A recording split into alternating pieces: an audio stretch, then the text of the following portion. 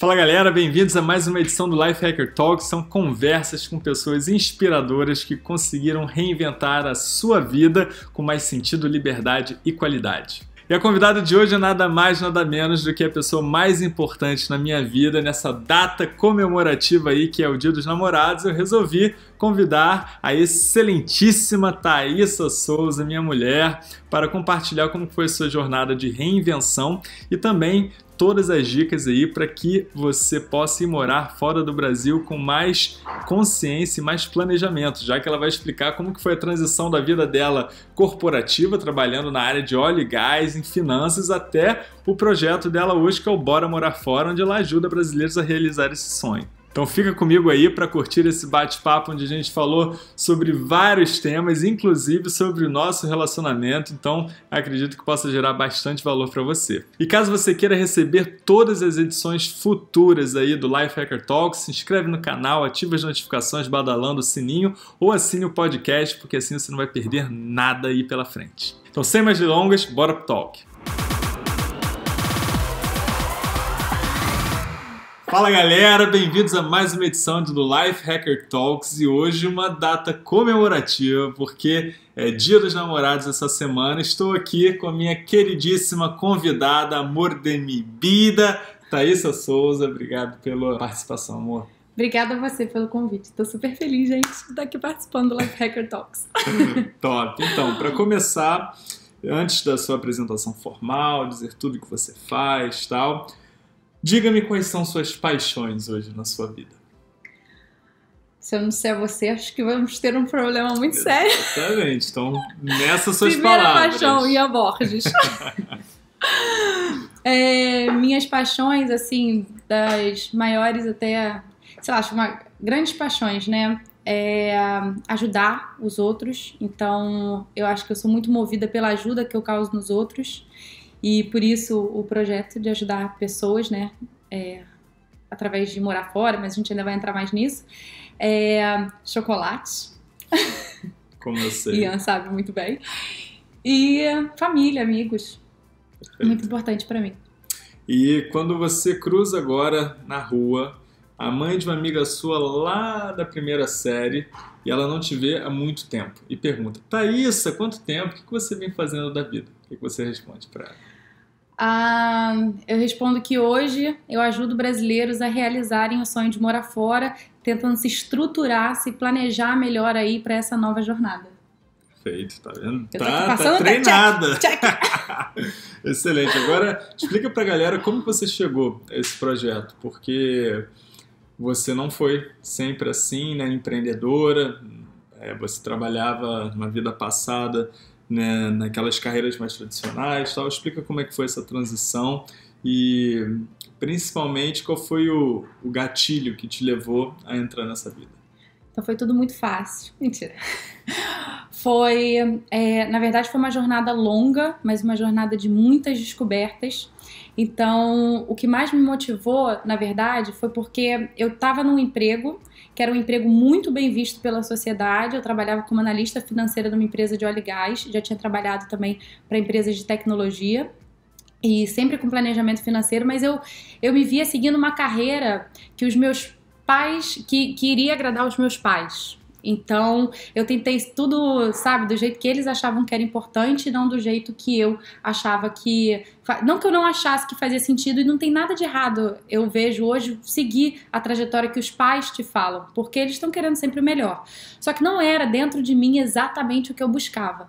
E aí, foi quando o bonitinho aqui chegou em casa falando sobre propósito de vida, sobre querer uma vida mais livre, com mais liberdade geográfica, porque a gente amava viajar Teve um ano até que a gente viajou sete vezes para sete países diferentes em um ano. Então, tipo, foi uma coisa assim muito louca. É, a com gente... férias só, né? Com os 30 férias, dias só de férias. Pegando é, dias de quinta, feriadinhos de quinta a, a segunda, a gente pegava a segunda ali. Então, assim, a gente viu que viagem era uma coisa assim muito forte pra gente. E o Ian chegando com essa parte de propósito é, de vida, nomadismo digital por conta da liberdade geográfica, isso começou a mexer muito comigo. E eu sempre confiei muito no Ian. É, por conta de todas as reinvenções que ele fez, mas é óbvio que isso gera, né, uma coisa. Falei, ah, tá bom, tá bom, vai lá. Até que chegou o dia que ele pediu demissão da L'Oréal, né? Nesse dia eu falei, fodeu. Pode falar palavrão aqui? Pode. Falei, tá ferrou. É, e aí a gente é, começou a, a se, se pensar, né? Eu ia pedir demissão. E aí eu ainda não estava preparada. A gente falou assim: não, então você pede, eu fico aqui ainda com meu emprego pra gente poder ver se vai dando tudo certo. E aí até que chegou o um momento que o Ian tava com a liberdade geográfica, mas ele tava em casa e muito por minha causa. É, muito não, total por minha causa, não ia viajar. Ele não viajava, né? Porque eu ainda tava lá no emprego. E em nenhum momento, que foi maravilhoso, o Ian me pressionou isso para mim foi muito importante. Em nenhum momento ele falou assim, Thaísa, vai, larga, larga.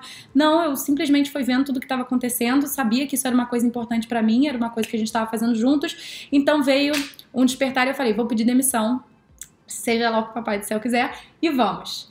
Só que a trajetória até a descoberta foi uma trajetória de muitos insights, muitas, é, muitas perguntas ordinárias que eu falo do Ian são essas perguntinhas que te fazem pensar, né? Que às vezes é muito fácil, né? A gente saber tudo, já ter um caminho traçado, mas quando a gente começa a pensar e ter esse autodescobrimento, é bem complicado. E aí foi nisso, foi uma construção aí do Ian me ajudando muito, muito nessa descoberta, até que eu cheguei. Ah, eu estava uma vez em Amsterdã, já estava assim muito aberta para as oportunidades por conta do, dos exercícios que ele vinha trazendo tudo. E aí eu tava na Holanda e a gente foi pegar um, um metrô e aí tinha uma brasileira. Na verdade, não tava com Ian, tava com uma amiga, com uma prima. E aí a gente foi pegar o metrô e eu vi uma brasileira e perguntei: e aí, como é que é morar fora? Tá sendo morar aquela? Uma merda. Eu falei, como assim? Você mora fora? Não é esse glamour que você tá na plantação e você vai colhendo dinheiro? Tem isso não? Ela, não, tá muito difícil, tô longe da minha família. E aí eu comecei a, a louca, né, que eu adoro é, descobrir, assim, entender sobre. Descobrir, assim, que eu amava entender como é que era a, a vida dos outros fora. Cara, Aí vem da fofoca. Belíssimo, um belíssimo eufemismo para fofoqueira, hein? fofoqueira. Queria Excelente. muito saber como é que era a vida dos brasileiros fora porque muitas pessoas vinham me perguntando, Thaís, como é que é a vida fora? Como é que eu faço para morar em tal lugar? Meus amigos. Então, perguntava para as pessoas, a partir do momento de eu entender como era, passava para os outros, e aí eu comecei nesse bate-bola. As pessoas me perguntavam como é que era a vida naquele país e eu passava para eles. Eu falei, cara, tanta gente me perguntando e às vezes eu esquecia, vou construir um canal no YouTube e uh, vou ver como é que isso pode é, como é que isso vai acontecer, né? Mas aí as pessoas já têm lá, alguém quer ver, eu passo a entrevista pra pessoa. E nisso eu fui tentando muitas coisas, né, amor?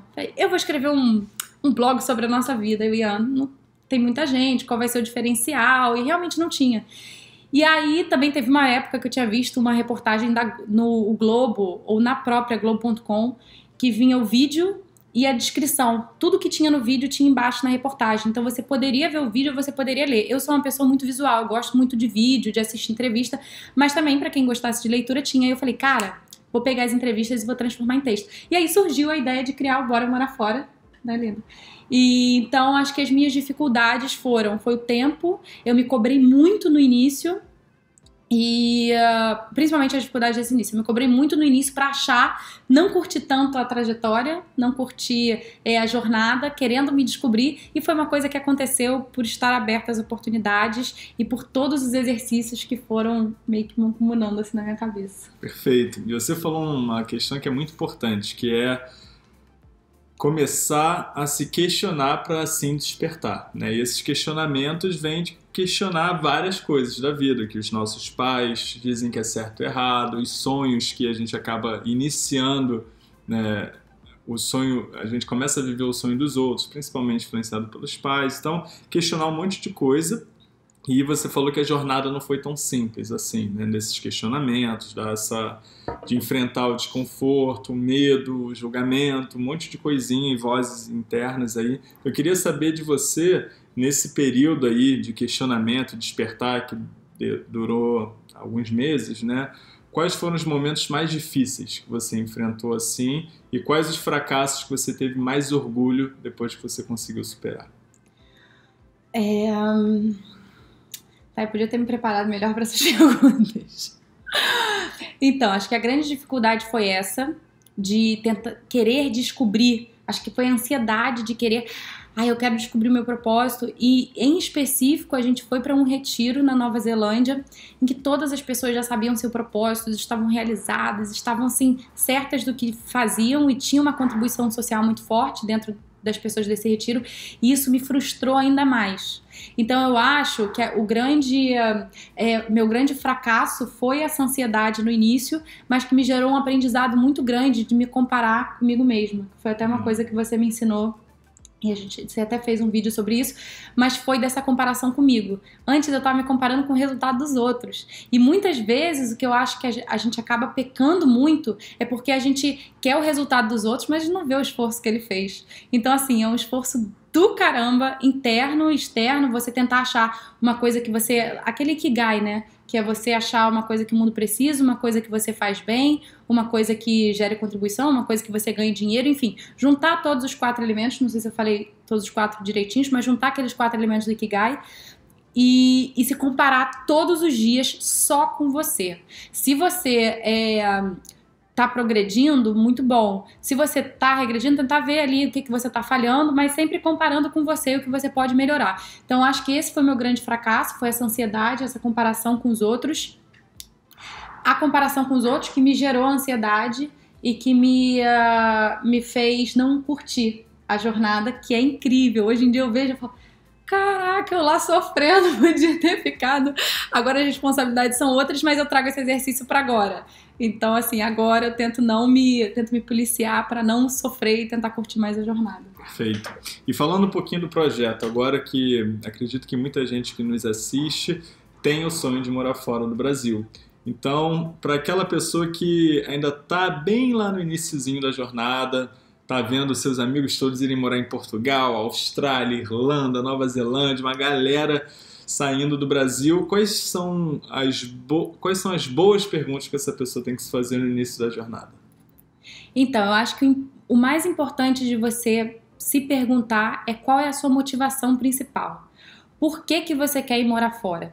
Porque o que acontece? Existem diversos países que dão diversas é, condições. Então, por exemplo, se o seu objetivo é ah, eu quero ter uma experiência fora.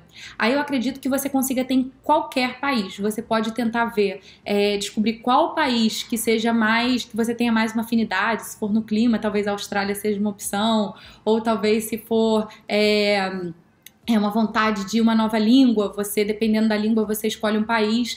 Mas eu acho que assim, não, não é só uma experiência. Eu quero realmente morar nesse país. Eu tô cansada. Quando, desculpa, só para deixar claro, quando você fala uma experiência, eh, são poucos meses, é, Dá, dá, alguns exemplos de experiência. Experiência, assim, uma experiência de morar fora. Eu tenho, eu tenho vontade de ter uma experiência de morar fora porque eu quero aprimorar meu inglês. Eu quero ter uma experiência de morar fora para aprimorar meu francês. Eu quero ter uma experiência de morar fora para aprender um novo trabalho, como a gente vê aí alguns, é, algumas pessoas que finalizam a faculdade ou no meio da faculdade fazem um work experience, né? Então, assim, primeiro eu acho que você tem que entender esse objetivo. Se é uma experiência ou se você realmente não aguenta mais o Brasil e por conta da violência, por conta de tudo que está acontecendo e você quer escolher um país. Por que, que tem essas duas diferenças?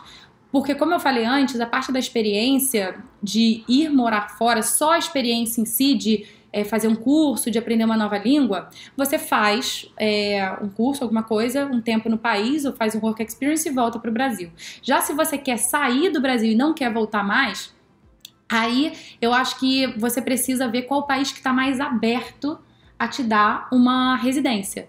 Né? Então eu acho que é isso que eu sempre falo com os meus alunos. Tenta entender o que, que você quer, qual é a sua motivação é dar uma melhor qualidade de vida para os seus filhos, segurança e realmente sair do Brasil, então vamos atacar os países que podem te dar uma residência. Aí vai depender de qual é a sua profissão, vai depender é, de qual a abertura do país, para onde você quer ir, onde você se sente mais familiarizado. Porque hoje o país que está dando assim uma abertura muito grande é Portugal. Então, em Portugal, você vê que tem bastante brasileiro imigrando, mas é por conta das oportunidades, de você fugir da, segura, da falta de segurança do Brasil, de você fugir dessa má qualidade de vida, da gente ter que ralar, ralar, ralar para ter o básico, né? Ter que pagar um plano de saúde, ter que pagar uma escola para os filhos. Em Portugal você elimina esses custos e também tem outros países que você elimina, mas eu acho que assim, Portugal está mais aberto. E eu vejo muita gente assim, ah, eu tô com muita vontade, eu tenho muita vontade de morar fora nos Estados Unidos. Eu acho excelente, eu acho que muita gente tem essa vontade, mas o caminho dos Estados Unidos é muito ruim. É um caminho que às vezes eu falo para as pessoas, você entra em loop, porque você às vezes vai para estudar para poder tentar adquirir o visa através de um trabalho, porque eu gosto muito do estudo que você faz network, começa um trabalho lá e tenta adquirir, não consegue, a empresa não consegue devido à sua profissão, e aí você estuda mais quatro anos, estuda mais quatro anos, quando você vê, você construiu a sua vida lá, mas você tem que retornar para o Brasil. Então, assim, eu acho que as primeiras perguntas, a primeira de todas as perguntas é qual o seu objetivo, e depois dessa é qual país que me aceita é, dentro do meu objetivo que eu vou traçar. Perfeito. Então, o primeiro é proposta, objetivo. Segundo vai ser, a partir disso, a melhor estratégia para a pessoa em função do contexto dela, que às vezes ela tem uma, um avô, um familiar também que possa conseguir a cidadania, possa conseguir um, é, um, um documento legal Isso. por família tal, e aí vai definir estratégia. E aí vamos dizer que eu defini Portugal, porque Portugal eu não vou ter tanta barreira de língua, em princípio, culturalmente é um país latino também e tal. É, o que, que eu devo agora, numa fase onde eu já tenho clareza do propósito, já tenho clareza numa direção de estratégia, quais são os próximos passos? Se você já tem uma clareza de estratégia, aí foco no planejamento. Aí é planejar mesmo. A gente que mora fora sabe que mora fora são, é uma montanha russa. Porque você tem a montanha russa é, emocional, que pega, às vezes, o emocional ele pode pegar na solidão, ele pode pegar na crítica é, dos seus familiares com você, pode ser sua autocrítica. Então, assim, dentro da parte emocional tem muita coisa. Tem também a parte financeira, porque sem um, uma grana, uma quantia legal, você Pode até fazer a viagem, eu vejo gente fazendo aí de mochilão de tudo, mas você faz uma, uma muito correndo atrás do rabo e isso pode colocar em situações de desvantagem que eu não gosto. Então, não aconselho. Eu aconselho você se programar financeiramente para fazer essa viagem. E como eu até teve um post aí que eu lancei essa semana, é bom você sofrer, é melhor você sofrer, sofrer, né? Sofrimento é opcional, mas é melhor você passar um perrengue no Brasil tentando juntar grana, tentando fazer uma renda extra ainda do Brasil, onde você tem amigos, tem uma casa, tem tudo mais estruturado, do que você ir, é, largar tudo e ir para algum novo país sendo que você lá vai ter que passar por algum perrengue de grana. Então se estrutura antes para poder ir depois.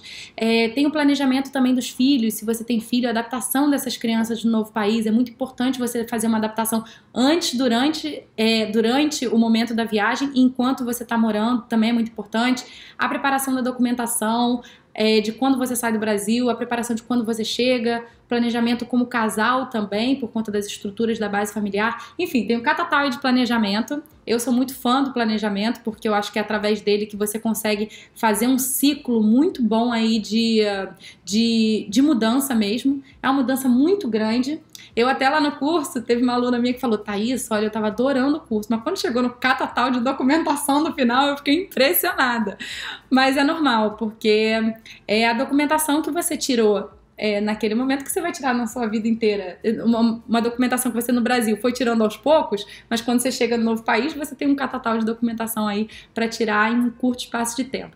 Então é todo um planejamento e toda uma preparação e assistir vídeos, assistir pessoas que já estão morando lá, entrar em comunidade, conversar com essas pessoas, enfim, foco no planejamento como próximo passo. Perfeito. Então acho que tem um papel, planejamento muito forte para você minimizar as chances de dar errado. Né? Você não pode eliminar, mas você pode minimizar bastante com um bom planejamento, forma holística, olhando tudo aí que você indicou. Agora vamos falar um pouquinho, uma vez que a pessoa se planeja bem, tem tudo, vamos dizer assim, direcionado para dar certo, né? Quais são as principais vantagens que você, que você identifica hoje em morar fora? Ah, para mim, enfim, tem muitas, vou me ater aqui a pelo menos cinco que eu acho que são super importantes. É, acho que crescimento pessoal, quando a gente se coloca fora da zona de conforto, é quando a gente mais cresce. Você vê aí a gente todo dia é um novo dia, uma, uma coisa nova que a gente descobre, né?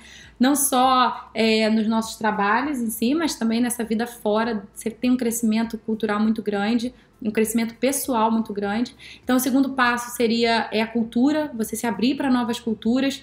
Tem muita gente que eu vejo que é muito preto no branco e quando faz essa mudança, ela já se abre a uma, uma nova experiência. Então tem esse crescimento pessoal cultural.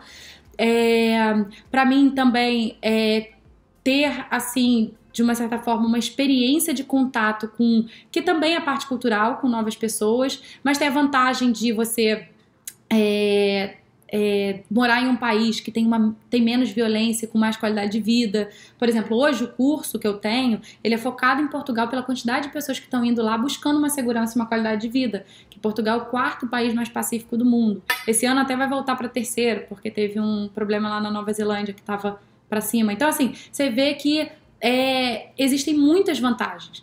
Então, vou dar uma recapitulada aqui que eu me me confundir, que eu me, me embolei, mas é a parte de você, crescimento pessoal, a parte cultural, é muito legal, a parte de você morar, ter mais segurança, ter mais qualidade de vida, é, não precisar ficar correndo atrás, trabalhando, trabalhando, trabalhando para pagar o básico, então seria ter mais dignidade e talvez novas línguas, dependendo de para onde você vai, no caso de Portugal não, mas para outros países sim. Apesar de que eu aviso sempre que Portugal você precisa falar inglês para poder ter um, um desempenho melhor em achar emprego, essas coisas. E uh, tem também a parte de conhecer novos lugares, se colocar em movimento. Não sei, é tanto, gente, que agora não tá nem me vindo tanta cabeça. Mas tem também a parte dos filhos, né? Você dá uma melhor qualidade de vida para os seus filhos.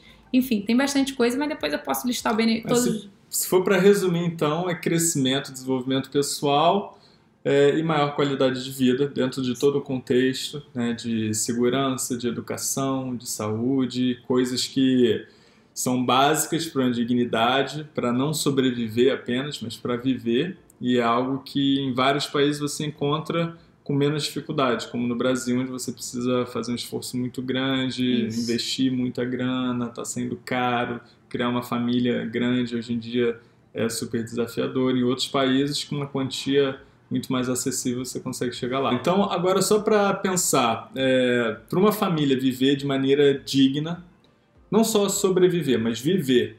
Pegando o exemplo de, de Portugal, vamos dizer um casal com um filho. Quanto mais ou menos você acredita de orçamento mensal seja suficiente? Então, depende muito, vai depender muito aí do seu estilo de vida, se você é uma pessoa que gosta um pouco mais de luxo, ou se você é mais aventureiro, se você fica em hostel, divide quarto. Mas eu vou trazer aqui para vocês terem uma ideia do valor que o governo considera como valor ali para você ter uma vida digna. Então, o valor seria mais ou menos de 600 euros é, para um pai ou para uma mãe de família, para o cônjuge, 300, mais 300 euros, você soma mais 300 euros nesse valor mensal, e para cada filho você soma mais é, 180 euros. Por que isso? Porque eles dizem que é 100% do salário mínimo para um titular da família, mais 50% para o cônjuge e mais 30% para cada filho. O que numa família que você deu o exemplo de um pai, uma mãe e uma criança, seria mais ou menos 1.080 euros, se eu não fiz os meus cálculos errados. Mas pega a calculadora e faz aí. Então, só pra gente ter uma ideia, 1.080 euros. Vamos botar aí pra galera que tenha mais um filho ou tenha mais conforto, vamos duplicar isso daí. Então, de 1.000 a 2.000 euros dá para cobrir uma vida legal aí para uma família de um a dois filhos. Isso, eu acho que assim, se uma eu Thaís, eu não gosto assim muito desse valor. Para você ter uma vida um pouco mais confortável e viver bem, dignamente, comendo, saindo, eu colocaria que para uma família desse tamanho, de 1.500 a 2.000 euros seria um valor Perfeito. muito bom. 2.000, vamos botar até 2.500. De 1.500 a 2.500 aí para galera. Então, isso multiplicado por 4 ponto alguma coisa, vai dar entre, sei lá, 7 mil, 7 a 10 mil. Isso. Por aí. Isso. Né? Então, é, para você viver viajando pela Europa, pelo menos uma vez por mês, comendo fora tal. Então, se comparar com o Brasil, 7 mil reais para uma família conseguir ter esse padrão de vida é muito desafiador, né? E lá você vai ter a qualidade de escola, educação, as bases, né? Aquela, aquilo que sustenta a qualidade de vida muito forte. Então, realmente, em termos de investimento, tem um puta diferencial, né? Ir para um Portugal da vida até Outros países é, que não são em euro, talvez você consiga até, tipo, Sudeste Asiático você consegue É. coisa ainda mais em conta, mas realmente tem, um, tem um- uma diferença muito grande. É, Portugal é um país bem barato, assim, comparado aos outros. E, assim, o custo de vida é mais barato. Tirando o preço dos aluguéis, que hoje em dia aumentou muito devido a esse boom é, das pessoas estarem imigrando para lá. Mas, tirando essa parte do aluguel, que eles chamam de arrendamento, de resto, você tem um custo de vida mais barato. A gente está falando aqui de 7 mil reais para uma família que gosta de fazer viagens, de viver com mais luxo, de 7 mil até mais. Mas assim, você consegue viver com menos lá, ainda mais porque a escola você já elimina, o plano de saúde você elimina. Então, assim, porque a saúde pública e a educação lá são muito boa, muito boas, os transportes, tudo. Então, assim, eliminando tudo isso, aí vai de você e da sua família. Mas com certeza o aluguel e a alimentação hoje, que seria o mercado, né, mensal, estão aí como a maior parte dos, dos custos, né, e dos gastos. Excelente. E me fala quais são os outros países aí que estão entre os top destinos para os brasileiros hoje em dia. Hoje seria a Irlanda, tá? Tem muita gente indo estudar lá pela flexibilidade de você conseguir trabalhar também. A Austrália, devido a essa de ter um clima muito parecido. A Espanha tem bastante gente indo também e os Estados Unidos, que você vê que tem muita gente ainda com esse sonho americano, né, de viver essa vida do sonho americano. Excelente, top. Então, galera, para quem quiser aí saber mais em relação a morar fora, Bora Morar Fora pode te ajudar com muita informação, entrevistas, né? Eu, pô, sou super fã, projeto considero meu também, então Nossa. fazendo fazendo jabá aqui. Mas agora vamos falar de algumas questões aqui que eu acho que é, são importantes para você que conseguiu fazer essa transição também de uma carreira corporativa para trabalhar num projeto que você vê muito mais sentido, você vê propósito, te dá liberdade, né? dentro dessa jornada, o, co- como que você diria hoje, o que, que significa real liberdade para você? É, eu acho que a liberdade geográfica, liberdade de trabalho, liberdade criativa, que pra mim é uma coisa assim super importante. Então, eu acho que é, eu saí de um local onde eu gosto muito de uma frase que eu acho que pode trazer isso, que é quando você é, não trabalha pelo seu sonho, alguém te paga para trabalhar pelo deles. E eu sinto que eu estava sendo paga para trabalhar pelo sonho de outra pessoa. E não tem nada de errado em você fazer isso. Vai depender aí de quem tem esse espírito mais empreendedor, menos empreendedor. É, eu só gosto dessa parte da conexão, de você estar conectado com esse propósito. Eu não via tanta conexão na parte financeira, apesar de eu gostar muito é, de construir planilhas, fazer tudo. Eu não via tanto é, essa parte financeira, o planejamento financeiro não era uma coisa assim que me dava tanto gás, assim, tanta liberdade, até comigo, eu criativa, de eu fazer as coisas. Então, assim, a produção de conteúdo hoje lá para Bora Morar Fora, criar novas coisas dentro do projeto, isso eu fico doidinha. Mas então eu vejo que me deu muito mais liberdade essa liberdade geográfica que a gente quis. Só que assim, que nem Homem-Aranha lá, o tio dele fala do superpoder, todo superpoder com uma grande responsabilidade. Eu tive uma dificuldade muito grande, e ainda tenho, né? Ó, que tá aqui sabe, meu, meu CEO, porque eu sou péssima nisso. Mas é muito mais fácil quando você tem alguém para culpar na sua vida. Quando você não toma as suas decisões. Então, essa transição eu me vi muito mais numa liberdade minha de assumir as rédeas da minha vida. É muito fácil quando você está no emprego e seu chefe fala assim: é, cria o negócio tal, inclui aquilo ali, não sei o que, você dá uma opinião, você acha que isso aqui não vai ficar bom? Não, acho que é melhor daquele jeito. Então você está seguindo ali um padrão que se errar, a culpa não é sua. Mas quando você começa a tomar as suas decisões, é, vem todos os riscos juntos, e isso eu senti muito, não ter uma pessoa para me dizer o que fazer. Eu até busco muito isso no Ian. Culpa ele, tá vendo? Você errou. Adora. Mas não, né? Então eu sinto assim que nessa vida de empreendedorismo, nessa vida de liberdade de projeto que eu quis construir, né, que a gente quis construir pra gente, é muito você com você mesmo, você tomando suas decisões, você errando. E assim, acho que a coisa mais bonita que eu descobri é que errar é maravilhoso. Que eu tinha muita dificuldade de errar. E ainda tem, tá, gente? Isso aqui é, é óbvio que é uma construção. Mas assim, é, você errar é maravilhoso. Você aprende, você tira alguma coisa e vida que segue. É aquela parte da comparação. Eu errei, então o que, que eu posso fazer melhor? Aí agora, eu fui melhor? Não, não fui. Então deixa eu tentar melhorar de novo. Tá, eu fui melhor. Então é isso, mas dá comparação com a gente. Então eu acho que isso foi um, uma coisa assim super importante e acho que veio dentro dessa liberdade criativa e liberdade de ter um projeto e começar a tomar minhas decisões e as porradas é, que vem surgindo, né, com toda essa decisão. Top.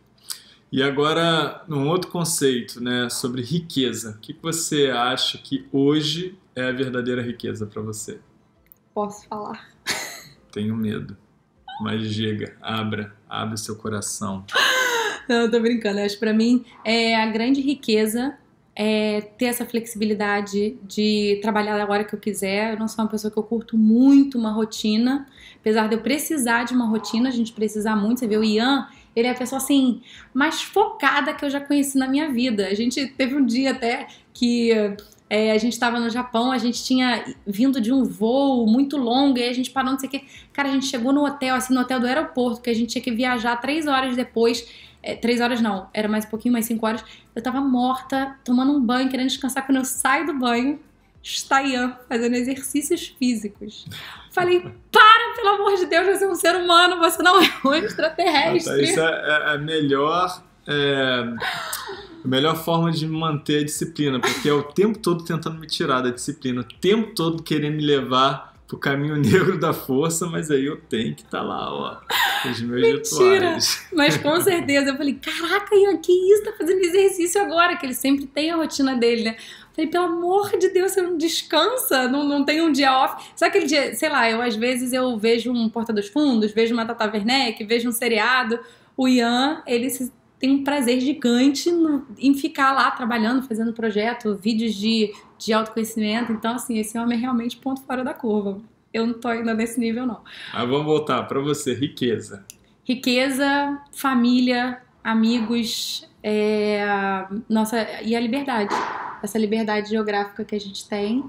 E um, acho que é isso. Não, é, não, não, não vejo riqueza como dinheiro. Eu vejo riqueza mais como é, sentimentos, sensações, sensação de bem-estar, sensação de relaxamento, sensação de tranquilidade. Então, por isso o nosso ritmo, né? Eu vejo assim, a gente conhece pessoas que, poxa, estão lá focadas no trabalho, em fazer muita grana, e acho que não, acho que o nosso é muito mais voltado para dentro de um propósito, de ajudar. Então, eu acho que é muito isso: família, amigos, contribuição social, né? Essa ajuda, ajudar as pessoas. E, um, e é isso, o resto a gente corre atrás. Excelente. Eu acho que você falou um ponto que é muito importante, que é esse alinhamento em casal também de valores, de propósitos e não só propósitos de projeto, mas o que, que a gente considera liberdade, o que, que a gente considera riqueza, porque quando você alinha isso em casal, as chances de ter ruídos de comunicação são muito menores que quando um está sonhando para cá, o outro está sonhando para lá. Então, por isso a gente gasta muita energia no dia a dia também para alinhar isso e quando gasta energia para alinhar, óbvio que tem discussão, porque um entende uma coisa, né? um é de Vênus, outro é de Marte, aquelas histórias todas que a gente conhece, mas é muito importante esse alinhamento, essa comunicação constante, porque é, se não tem esse alinhamento na base, que são os valores e sonhos e princípios, é muito difícil a coisa ficar sustentável, né? Então, é, eu concordo com tudo que você falou em termos de, de visão aí, de riqueza, de liberdade, daquilo que importa, porque isso é a base para um relacionamento, né? E eu acho legal você ter falado essa parte do relacionamento, uma coisa que a gente sempre faz, que é um exercício assim super gostoso, é a gente se planeja. E a gente se planeja para nossa vida. Quais são, o que, que a gente espera para daqui a um, três e cinco anos? Mais ou menos isso. A gente geralmente muda, a gente faz umas metas anuais, umas metas é, um pouco mais longas, mas o que, que a gente espera? E aí é muito bom a gente alinhar como casal, que não tem aquele disse, não disse, aquele momento. A gente não faz tudo regrado, tudo planejado, desiste, isso não acontece, mas a gente tem uma ideia dos marcos principais. Então a gente tinha uma ideia de quando a gente tinha vontade de casar, depois que o Ian me pediu, é, a gente tinha uma ideia. Ah, foi você que me pediu. Eu que pedi. Depois que eu ajoelhei e ah, pedi ele em casamento. É, também da parte do, de filhos, quando é que a gente pretende ter. É, mas assim, também a gente não se atém, ah, daqui a 10 anos a criança vai entrar na escola com a mochila azul, não é, não é isso. Mas é assim, um planejamento bem macro mesmo, e isso é muito legal, um exercício bem gostoso. Que é o né, mais que legal não é nem o planejamento em si, que eu nem sei que você ficou por sinal de consolidar bonitão, a gente não fez, mas pouco importa, porque o mais legal é a conversa, é a troca, é a gente ainda. Lembro, né? A última vez a gente estava indo para Itaipava, então foi, sei lá, duas horas a gente trocando ideia tal. É o processo que é muito mais importante. O, o, o- a entrega final, vamos dizer assim, você pouco importa, né? Mas tem até um conceito que eu trago no meu curso lá da, da do Reinvenção dos 30, que é o plano de vida exponencial. E é muito importante, grande parte desse plano, praticamente a metade dele, ser feito com seu companheiro, sua companheira, porque assim você tem muito mais sustentabilidade para conseguir alcançar aquilo. né? Então, dá para a gente fazer um, um talk só sobre isso daí, que eu acho que é um assunto É gostoso. incrível. A gente tem vontade até de criar um curso aí falando disso, né? Compartilhando um pouco dos perrengues que a gente passa. Até me conte aqui, você legais. gostaria de ver um curso tipo Lua de Mel pra sempre, do jeito que a gente faz, porque realmente é uma coisa que a gente. As pessoas falam assim, nossa, eu gosto tanto da maneira como vocês lidam com planejamento, com esse dia a dia. Então é até legal, né? Saber Claro. aí de vocês É, se bota vocês vontade. vontade, que é um plano que a gente tem e óbvio que não é mar cor-de-rosa o tempo todo, rola discussão pra caralho, DR, rola choro, rola, pô, num apartamento que não tem muito quarto, brigou, faz como? Um entra no banheiro, o outro meu irmão, vai embaixo da cama, é perrengue, mas é legal os aprendizados e ver como que a É gente lida, né? importante. com, com mais rápido. Eu, eu sempre brinco que- que discussão sempre vai ter, né? Momentos de raiva, momentos de falar o que não quer, de ferir sem querer, vai rolar. Mas eu acho que o grande diferencial é a capacidade da gente conseguir voltar a sorrir e rir dessas bobeiras o mais rápido possível.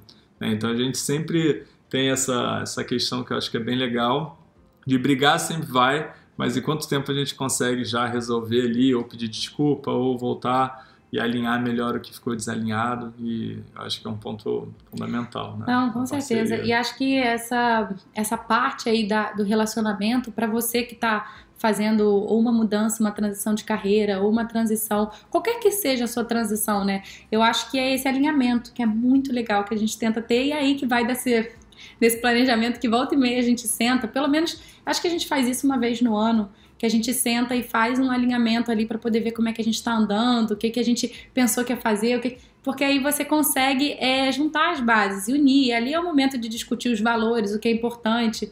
Então eu acho que eh, isso é uma coisa super legal que a gente tem gostado muito de fazer e tem estudado, né, bastante sobre essa, essa parte do relacionamento, de tudo, porque você pensa, né? Antes a gente tinha uma vida isso é um desafio para muitos casais que eu entrevisto, eu vejo, e que foi um grande desafio pra gente. Antes a gente tinha uma vida onde o Ian ia para o trabalho, lá para L'Oréal, e eu ia para a empresa. E aí depois a gente se encontrava no final do dia, a gente se reunia com amigos. Hoje em dia é full time.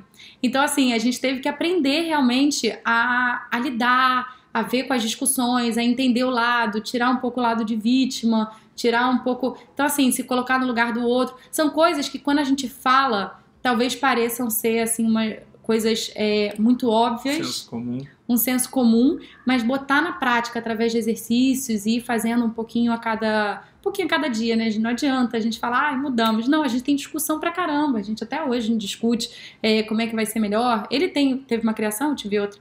Então é normal. Mas assim, é, é bacana fazer isso junto e estudar e vendo. Então, não sei, É, acho que isso eu foi um acho que o ideal é cada gostoso. seis meses, né, fazer é, uma vez ao ano meio que ter uma discussão mais longa, mas acompanhar também para não ficar uma coisa fala uma vez e nunca mais acompanha. Tem que se tornar dia a dia, tem que se tornar realidade. Para todo mundo que está enfrentando uma grande mudança na vida, seja de carreira, seja de estilo de vida, seja ir morar fora, é, ter um companheiro, uma parceira, né, para te ajudar a montar esse novo momento é muito legal, né? Menos solitário, é onde realmente o companheirismo tem um papel fundamental que se você não cuidar disso com muito carinho, pode simplesmente tornar o sonho um pesadelo, né? Muitos casais acabam se separando por desalinhamento aí de, de valores, princípios e estilo de vida, porque não botaram energia suficiente para trabalhar muito bem isso daí com comunicação, com transparência, com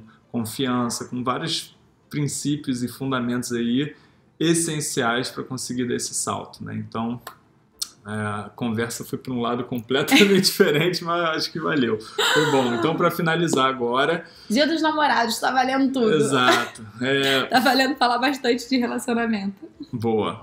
Para finalizar, qual uma frase que, se você pudesse sugerir, é, que todo mundo lesse e se inspirasse diariamente lá na Lua, né? qual seria essa frase? Acho que tudo passa. Acho que essa frase, para mim, é muito importante. Que não importa se você esteja num momento muito ruim, ele vai passar. Então, coloque isso na sua cabeça que esse momento vai passar, essa angústia vai passar. E se você estiver num momento muito bom, de euforia, muita felicidade, não é que você não tem que aproveitar esse momento, você tem sim que aproveitar e muito, mas é entendendo que esse momento também vai passar. Então, eu acho que uma frase que eu gostaria assim, tudo passa. Para quem estiver sofrendo ali na dor, entender que vai passar e para quem estiver na felicidade, se precaver, entender que daqui a pouco vai ter alguma alguma coisa, mas entender que também vai passar, enfim. Eu acho que esse é o ciclo da vida, né? Acho que a gente sofre menos quando a gente entende que as coisas passam e são impermanentes. Porra, tirou onda. Alá Vipassana, né? Quem não conhece, tem até um vídeo aqui que eu falo que o grande conceito né, da Nietzsche, que foi que eu tatuei também aqui. É, exatamente, é exatamente isso. Exatamente? A única verdade é a impermanência, né? Muito sábio, muito bom. e agora que, para a galera saber um pouquinho mais sobre a Thaísa, para entender melhor sobre o Bora Morar Fora, sobre o curso Bora Morar em Portugal, onde que a galera pode te encontrar? me encontrar no Instagram, você vai ver bastante do nosso estilo de vida e vai ver bastante também das dicas para ir morar fora. Então é arroba Thaisa C. Souza. E o canal no YouTube é Thaisa Souza, Bora Morar Fora. Então você pode achar Bora Morar Fora. Se você botar Bora Morar Fora no YouTube, vai aparecer lá. E também tem o site, Bora Morar Fora. Taca Bora Morar Fora, Thaisa C. Souza, que eu tô aparecendo. Excelente. Eu vou botar os links aqui também na descrição. Mas, amor, obrigado, foi incrível. Valeu Sim. compartilhar aí sua sabedoria, sua experiência. Adorei. E fica aqui o presente Dia dos Namorados para vocês. Espero que vocês tenham gostado. E é isso. Até a próxima. Muito obrigada por fazer parte aqui do Life Hacker Talks nesse momento especial de Dia dos Namorados. E um beijo para todo mundo. Feliz Dia dos Namorados. Para quem tem namorado, para quem não tem também, vá para rua comprar um presente para você mesmo que você merece. Boa. Valeu. beijo.